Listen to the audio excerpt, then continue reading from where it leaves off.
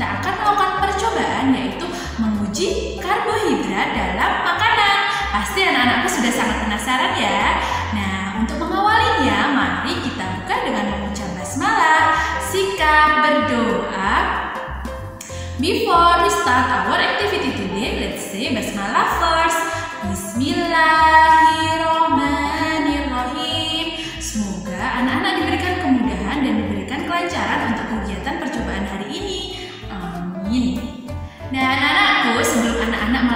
Percobaan hari ini, Bunda akan cek semangat anak-anakku dulu.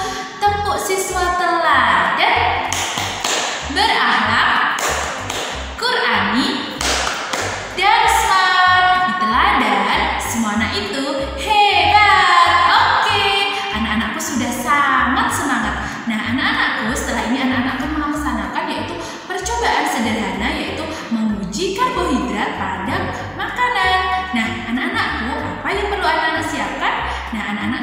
boleh menyiapkan yaitu berbagai macam makanan.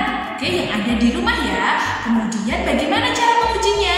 Nanti beberapa makanan itu anak-anak tetesi dengan menggunakan betadin atau larutan iodium. Nah bagaimana jika makanan mengandung karbohidrat? Nah anak-anak pasti penasaran ya. Silahkan anak-anak untuk menyaksikan video percobaan Baik anak-anakku semua, hari ini kita akan melakukan percobaan yaitu uji karbohidrat. Nah, untuk alat dan bahan yang digunakan Bunda yaitu antara lain sebagai berikut. Silahkan anak-anak untuk memperhatikannya. Yang pertama, kita membutuhkan yaitu betadin atau iodin. Kemudian, untuk bahan makanannya yaitu tahu dan tempe. Kemudian ada getuk. Selanjutnya yaitu ada kentang. Dan yang terakhir, Bunda menggunakan nasi. Silahkan anak-anak menggunakan alat dan bahan yang ada di rumah ya. Nah, untuk selanjutnya, silahkan anak-anak tetesi setiap bahan makanan menggunakan betadin atau iodin. Nah, anak-anak silahkan tetesi sebanyak 3 tetes.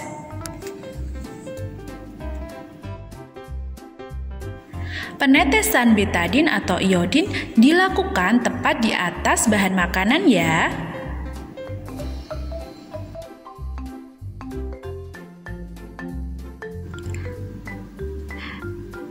Nah, jika semua bahan makanan telah kita tetesi dengan menggunakan betadin, nah selanjutnya kita akan memperhatikan perubahan apa yang terjadi dengan bahan makanan setelah ditetesi dengan betadin. Silahkan anak-anak cermati dengan baik.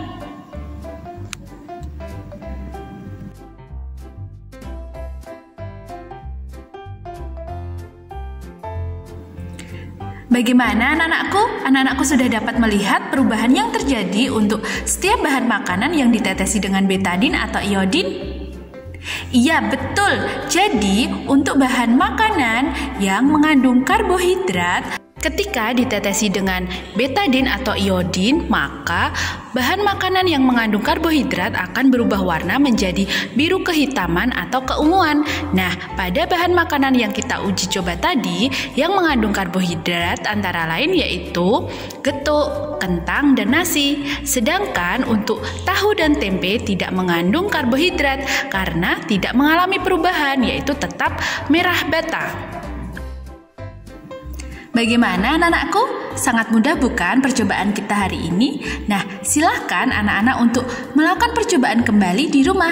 Gunakan alat dan bahan yang ada di rumah ya. Oke, selamat bereksperimen. Nah, bagaimana anak-anakku? Sangat mudah bukan percobaan kita hari ini?